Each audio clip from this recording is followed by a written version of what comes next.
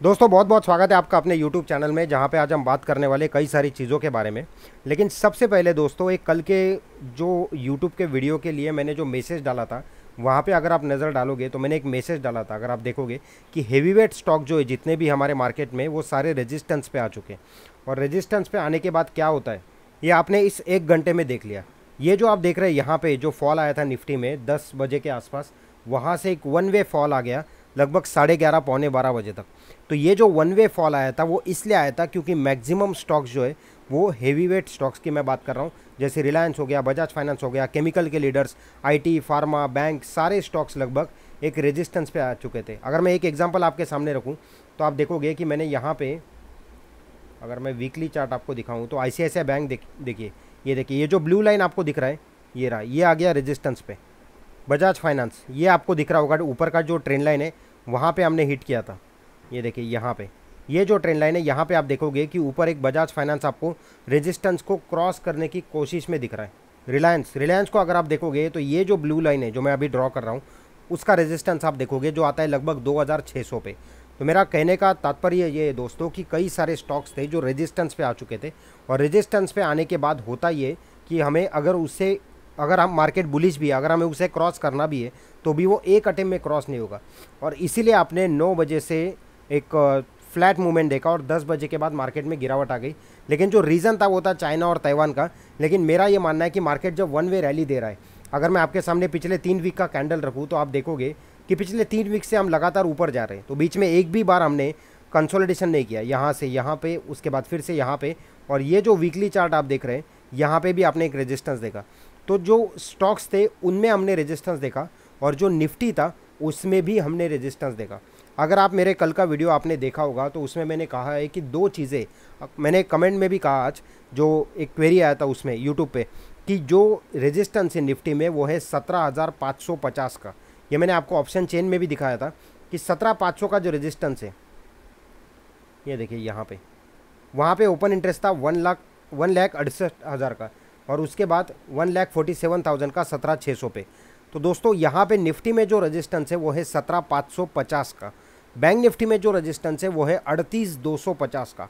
तो जब तक ये लेवल क्रॉस नहीं होते तब तक आपको मार्केट में इसी तरह की वन वे रैली देखने को नहीं मिलेगी।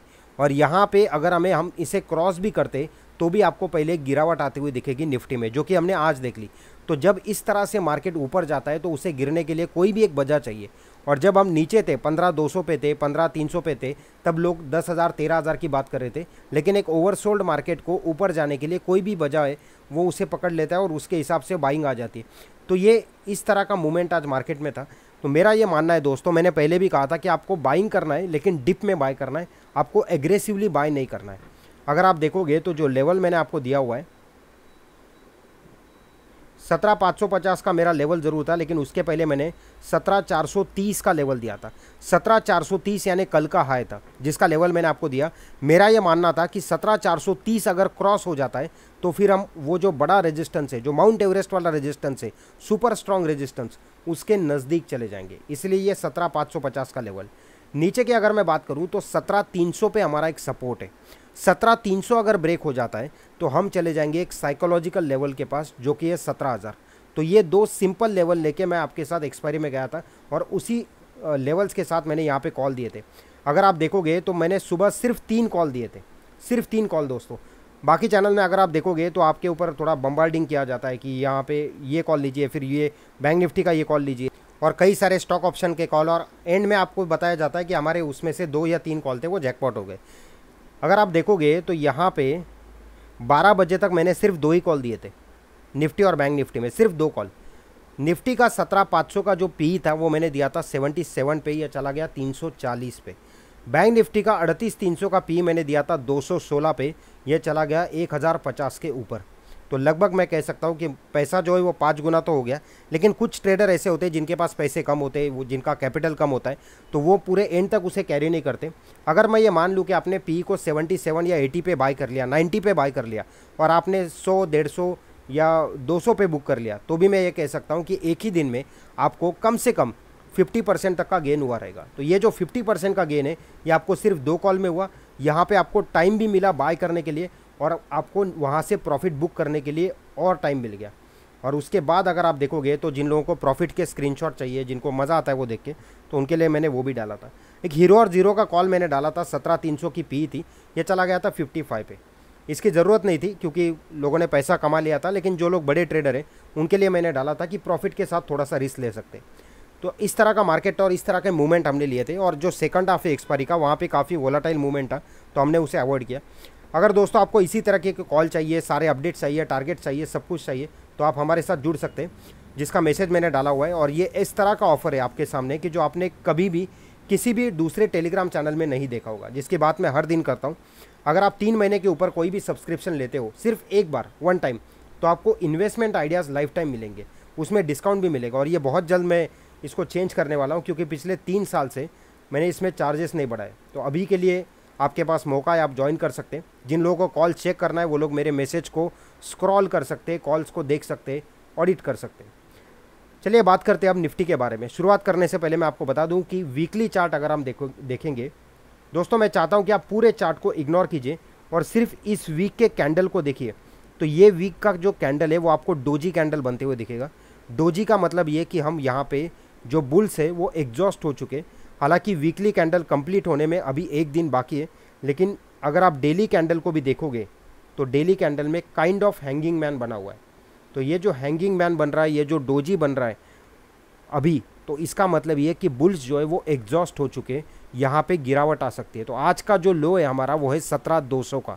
मैंने आपसे कहा था कि सत्रह तीन सौ का हमारा सपोर्ट है।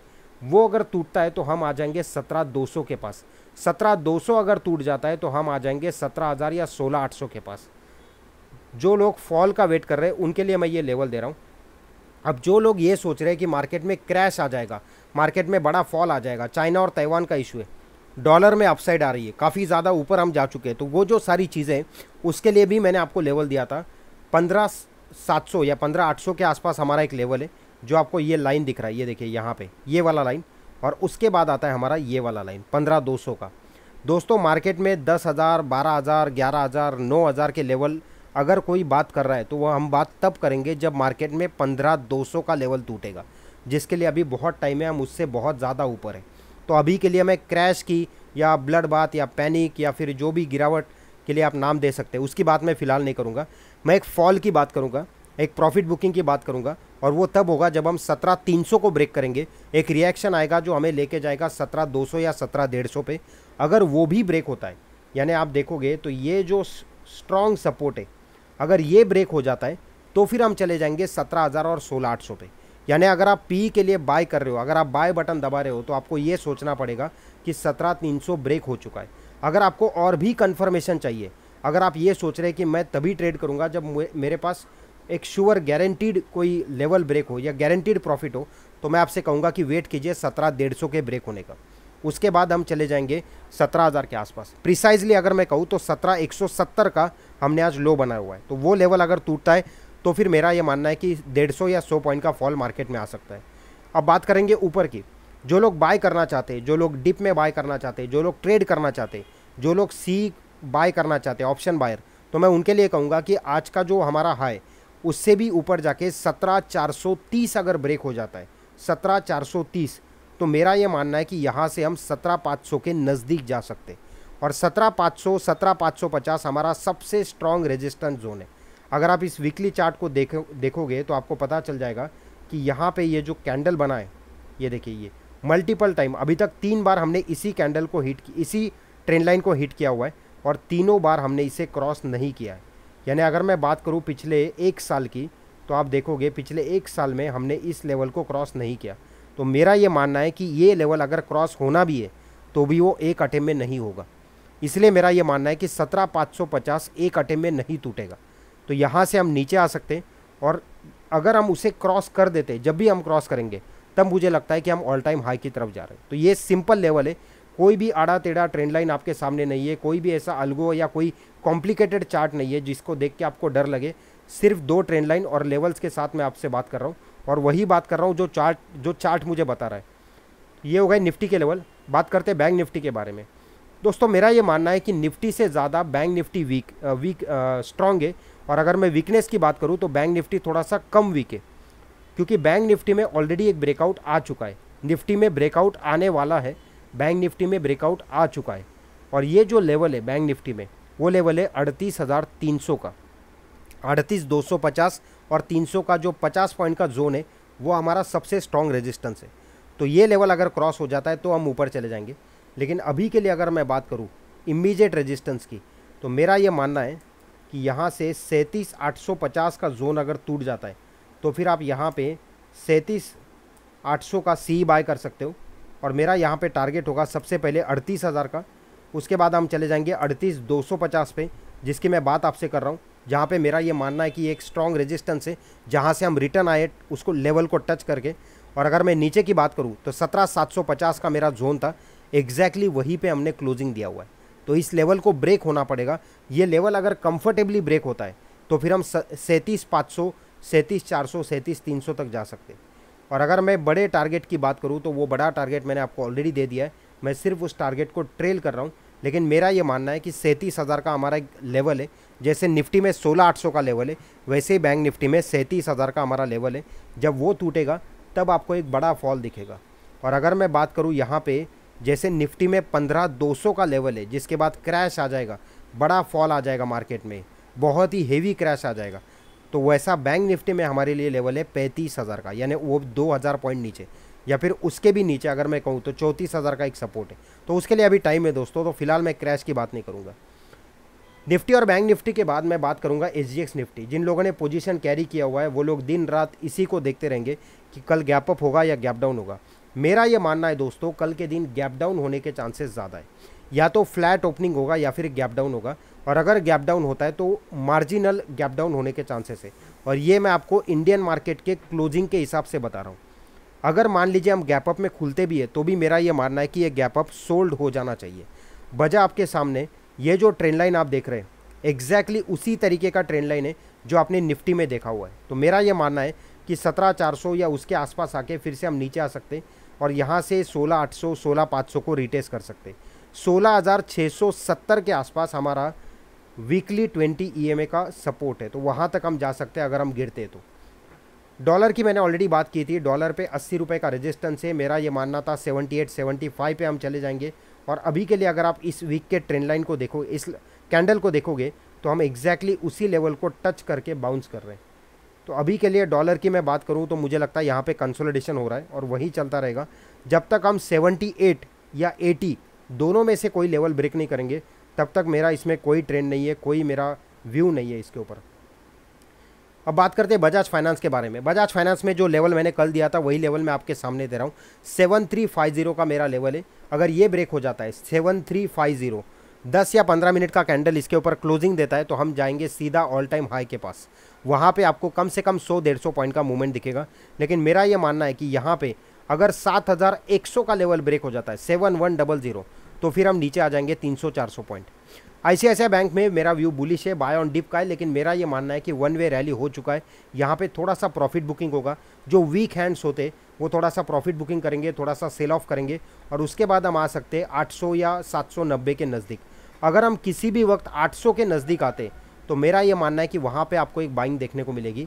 अभी के लिए मेरा इसमें बाइंग करने का सलाह नहीं है। तब तक, जब तक 835 का लेवल क्रॉस नहीं होता। दोस्तों, जो लेवल मैं आपको बता रहा हूँ, वहाँ पे आपका, अगर आप सी पी बाय करते हो तो आपका पैसा एटलीस्ट डबल हो सकता है। तो उस तरह से मैं आपको लेवल दे रहा हूँ, बड़े लेवल दे रहा हूँ, बड़े प्रॉफिट के लिए। एक्सिस बैंक एक्सिस बैंक मेरे हिसाब से सपोर्ट पे आ चुका है। अगर कोई बैंक सपोर्ट कर रहा है बैंक निफ्टी को तो वो एक्सिस बैंक रहेगा। आज इसने नहीं किया, लेकिन मेरा ये मानना है कि अभी ये सपोर्ट करेगा। ये और कोटक बैंक एक सपोर्ट पे आने की कोशिश कर रहे हैं कंसोलिडेट कर रहे हैं। लेकिन यहाँ पे मेरा ये मानना है कि आईसीआईसीआई बैंक में अगर गिरावट आती है तो एक्सिस बैंक में आपको बाइंग आते हुए दिखेगी। लेकिन उसके लिए इसको सेवन हंड्रेड एंड फोर्टी का लेवल क्रॉस करना पड़ेगा सेवन फोर ज़ीरो तब हम देख सकते हैं यहाँ पे कम से कम पंद्रह बीस पॉइंट का रैली अगर नीचे की तरफ़ मान लीजिए हमने सेवन हंड्रेड एंड फिफ्टीन का लेवल ब्रेक कर दिया तो हम सात सौ के नज़दीक चले जाएँगे। अब मैं एक ऐसे स्टॉक की बात करने वाला हूँ कि जहाँ पे मैं ट्रेडिंग का व्यू आपको नहीं दे रहा हूँ, लेकिन मेरा ये मानना है कि लॉन्ग टर्म के लिए अगर आपको इन्वेस्टमेंट करना है तो ये स्टॉक बहुत ही बढ़िया प्राइस पे आ चुका है।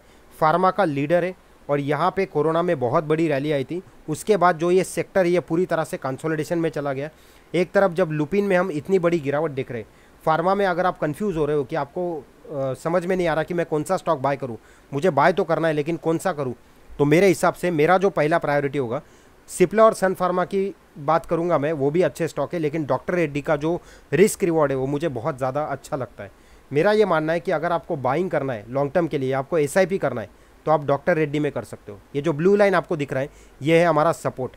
और अगर मैं वीकली सॉरी, वीकली चार्ट की बात करूँ तो आप देखोगे कि ये जो कैंडल है, ये इन्वेस्टर का फेवरेट कैंडल है, जो kind of dragonfly doji या फिर हैमर बनने की कोशिश हो रही है। तो ये, इसका हाई अगर ब्रेक हो जाता है इस वीक का तो यहाँ से आपको एक बहुत बड़ा रिस्क रिवॉर्ड मिलेगा। चार हज़ार एक सौ पचास पे डॉक्टर रेड्डी की मैं बात कर रहा हूँ। इसकी बात आप टीवी चैनल पे तब सुनोगे जब ये चार हज़ार तीन सौ पे जाएगा, तब मैं प्रॉफिट बुक करूँगा। लेकिन आज मैं ये स्टॉक आपको अभी दे रहा हूँ। अगर आप बाय करना चाहते हो तो कर सकते हो। रिलायंस रिलायंस में 2600 का रेजिस्टेंस है, लेकिन ये स्ट्रॉन्ग रेजिस्टेंस नहीं है। हो सकता है यहाँ से हम थोड़ा सा नीचे आए, लेकिन ये कंसोलिडेट भी कर सकता है। अगर मैं इसके डेली कैंडल की बात करूँ तो आप देखोगे कि आज हमने यहाँ पे एक रेड कैंडल बनते हुए दिखा, लेकिन वहाँ पे एक बाइंग भी आ गई। उसकी वजह ये दोस्तों, क्योंकि हम एक रेजिस्टेंस पे आए, जो कि स्ट्रॉन्ग रेजिस्टेंस नहीं है, जितना ICICI बैंक या बजाज फाइनेंस में हमने देखा है। तो अगर हम आज का हाई ब्रेक कर देते तो हम 2700 या 2800 तक भी जा सकते। टीसीएस टीसीएस और बाकी आईटी स्टॉक में आज हमने बाइंग आती हुई देखी। टीसीएस में मेरा लेवल रहेगा थ्री फोर डबल ज़ीरो का। इसके ऊपर अगर हम जाते, three four one five sorry इसके ऊपर अगर हम जाते तो आपको सौ या डेढ़ सौ पॉइंट का अपसाइड दिखेगा। एम एन एम दोस्तों, पूरे इंडियन मार्केट में जितने भी हैवी वेट स्टॉक है, उसमें ऑटो सेक्टर के जो स्टॉक है, उसमें मैं सबसे ज़्यादा बुलिश था। और मैं तब बुलिश था, जब निफ्टी ऑटो साढ़े नौ, दस हज़ार पे था। आज ये तेरह हज़ार, चौदह हज़ार तक चला गया, क्योंकि फार्मा आईटी बैंक, इनमें जो रैली आई है कोरोना के बाद, वो ऑटो में नहीं आई, वो अभी आ रही है। तो मेरा ये मानना है कि पिछला साल आईटी का था, ये साल ऑटो का हो सकता है, और ऑटो में 1200 के ऊपर अगर महिंद्रा महिंद्रा जाता है तो मेरा ये मानना था कि ये सीधा 1500 और 1600 पे जाके ही रुकेगा। और इस वीक का अगर आप कैंडल देखोगे तो ये बहुत ज़्यादा बुलिश है। तो कोई एक स्टॉक है जो निफ्टी को सपोर्ट कर सकता है होल्ड कर सकता है तो वो महिंद्रा एंड महिंद्रा आप देख सकते हो। लेकिन इसके लिए अगर आपको ट्रेडिंग पॉइंट ऑफ़ व्यू से बाय करना है तो मैं आपसे कहूँगा कि 1275 को क्रॉस होने दीजिए, फिर आप एक ट्रेडिंग बेट ले सकते हो। अगर आपको बाय करना है तो ये 1240 1230 या 1200 के नज़दीक आता है, तब आप बाय कर सकते हो डिप में बाय कर सकते हो। आखिरी स्टॉक की अगर मैं बात करूँ, आखिरी दो स्टॉक तो उसमें एक है टाटा स्टील टाटा स्टील में बहुत लोगों ने मुझे क्वेरी पूछा था कि ये अच्छे खासे प्राइस पे आ चुका है और काफ़ी स्प्लिट के बाद काफ़ी सस्ते में मिल रहा है, एक सौ सात रुपये पे। तो क्या हम इसे बाय कर सकते तो जी नहीं दोस्तों, आप अभी बाय नहीं कर सकते और ये मेरा क्लियर व्यू है।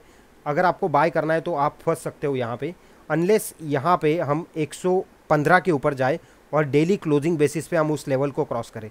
अदरवाइज़ मैं आपसे यही कहूँगा कि इस लेवल पे इसको बाय मत कीजिए, क्योंकि हम एक बार 95 90 के नज़दीक जाने वाले अगर आपको लॉन्ग टर्म के लिए बाय करना है तो फिर आप बाय कर सकते हो एसआईपी के ज़रिए। लेकिन अगर आपको शॉर्ट टर्म के लिए बाय करना है तो हम एक अच्छे खासे रेजिस्टेंस पे आ चुके हैं। नवंबर और उसके बाद यहाँ पे एक सपोर्ट बना था। एग्जैक्टली वही लेवल अभी बना हुआ है रेजिस्टेंस और अगर यहाँ से हम गिरते तो 95 पे हमारा डेली 20 ई का सपोर्ट है, जहाँ पे हम जा सकते हैं। आखिरी स्टॉक की अगर मैं बात करूँ तो वो है इन्फोसिस दोस्तों इन्फोसिस में भी ज़बरदस्त बाइंग आ रही है। ऊपर की तरफ़ हम जा रहे हैं। ऊपर मुझे 1700 के पहले कोई स्ट्रॉन्ग रेजिस्टेंस नहीं लग रहा है, लेकिन अभी के लिए अगर आज का हाई ब्रेक हो जाता है और 1610 को हम क्रॉस करते तो ही आप ट्रेडिंग बेट ले सकते हो। अगर मान लीजिए आज के लो के नज़दीक आता है 1580 1570 पे तो फिर आप बाय कर सकते हो शॉर्ट टर्म के लिए। अब जाते जाते दोस्तों, एक स्टॉक मैं आपको दे रहा हूँ। अगर आपको इसमें इन्वेस्टमेंट करना है तो फिर आप कर सकते हो। कल मैंने टाटा मोटर की बात की थी इन्वेस्टमेंट पॉइंट ऑफ़ व्यू लेकिन अगर आपको एक और स्टॉक चाहिए तो ये स्टॉक जो है, ये काफ़ी फेवरेट था। पहले, लेकिन उसके बाद जो इसमें गिरावट आई है, उसके बाद काफ़ी लोग जो है इसमें प्रॉफिट बुक कर रहे हैं। काफ़ी लोग ये सोच रहे हैं कि इसमें ब्रेकडाउन आएगा, ये काफ़ी नीचे गिर जाएगा। उस स्टॉक का नाम है I X Indian energy exchange और ये अच्छे खासे सपोर्ट पे आ चुका है। अगर आप में सच में पेशेंस है और आपको लगता है कि आपका व्यू मिनिमम तीन चार साल का है, तीन या चार साल तो मेरा ये मानना है कि स्टॉक में आप बाय कर सकते हो। याद रखिए, आपको एग्रेसिवली बाय नहीं करना है। आपको अभी सिर्फ़ बाय करना है और फाइव टेन परसेंट का आपको डिप मिले तो फिर आप दोबारा बाय कर सकते हैं। एक्चुअल जो ब्रेकआउट है, बड़ा ब्रेकआउट वो तब आएगा जब हम 200 के लेवल के ऊपर चले जाएँगे। अगर हम 200 पे जाते हैं तो हम सिर्फ़ 300 पे जाके नहीं रुकेंगे, हम नए ऑल टाइम हाई की तरफ़ जाएँगे। तो आईएक्स में आप अभी बाइंग कर सकते हो। अगर इसमें डिप मिलता है 150 पे तो फिर आप दोबारा बाय कर सकते हो। या फिर आप अभी बाय करके जो बचा हुआ जो आपका कैपिटल है, वो बाद में डेढ़ सौ पे आप बाय करवा सकते हो। तो ये जो स्टॉक है दोस्तों, इसके फंडामेंटल में कोई दिक्कत नहीं है, लेकिन ये ओवर वैल्यूड था, इसलिए इसमें ज़्यादा गिरावट आ रही है। ओवरऑल अगर मैं समराइज़ करूँ तो निफ्टी में सत्रह तीन सौ एक इमीजिएट सपोर्ट है, लेकिन स्ट्रॉन्ग सपोर्ट है सत्रह डेढ़ सौ का। सत्रह एक सौ सत्तर, जो आज का लो की मैं बात करूँ, उसके बाद हम जाएँगे सत्रह हज़ार सोलह आठ सौ अगर ब्रेक हो गया तो बड़ा पैनिक सेलिंग आ जाएगा, पंद्रह आठ सौ तक हम जा सकते सत्रह पाँच सौ पचास जब ब्रेक होगा, तब नीचे जो हमने अपसाइड देखी है, वो सिर्फ़ एक ट्रेलर रहेगा, उसके बाद हम नए ऑल टाइम हाई की तरफ़ जाएँगे। बैंक निफ्टी में अड़तीस दो सौ पचास का मेरा लेवल है। अगर वो ब्रेक हो जाता है तो बहुत अच्छी बात है। दोबारा हम ऑल टाइम हाई की तरफ़ जाएँगे। दो तीन हज़ार पॉइंट की रैली आएगी बैंक निफ्टी में दिवाली तक। लेकिन अगर ये लेवल ब्रेक होगा तो। अगर ये लेवल ब्रेक नहीं होता है तो एक बार हम सैंतीस हज़ार, सैंतीस पाँच सौ की तरफ़ जाएँगे। थर्टी सिक्स थाउज़ेंड अगर ब्रेक हो जाता है तो पैनिक सेलिंग आ जाएगी बैंक निफ्टी में। कल के लिए मेरा ये मानना है कि हम मार्जिनल गैप अप या गैप डाउन में ओपन हो सकते हैं। गैप डाउन के चांसेस ज़्यादा है और ब्रेंट से हमें क्रूड ऑयल से कोई दिक्कत नहीं है, दिक्कत है डॉलर पे, लेकिन डॉलर एक रेजिस्टेंस पे आ चुका है तो यहाँ पे आपको कंसोलिडेशन देखने को मिलेगा। बाकी सारे के सारे स्टॉक अपने रेजिस्टेंस पे आ चुके हैं तो मार्केट का जो माहौल है वो थोड़ा सा रेंज बाउंड थोड़ा सा साइडवेज रहेगा, तब तक जब तक निफ्टी अपना लेवल क्रॉस नहीं करता। So that's it for today thank you so much guys and thank you for your time दोस्तों वीडियो को शेयर ज़रूर कीजिए, और जो भी आपका क्वेरीज है, जैसे इन्फोसिस हो बजाज फाइनेंस हो, या कोई भी स्टॉक हो जिसमें आपका अमाउंट फंसा हो या आपके मन में कोई डाउट हो तो आप दिल खोल के मुझे क्वेरी पूछ सकते हैं। मैं ज़रूर उसका रिप्लाई दूँगा। Thank you so much guys and thank you for your time